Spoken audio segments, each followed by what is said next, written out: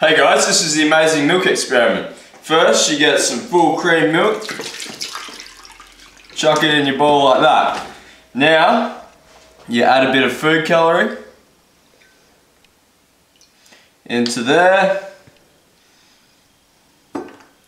All different colors, different colors that you want. Pink, yellow.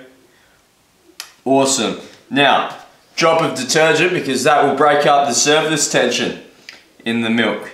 Watch this, this will be incredible.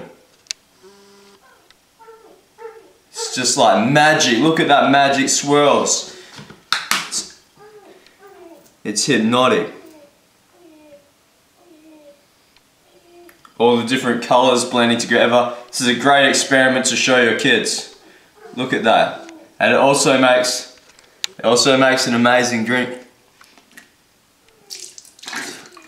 Not so much.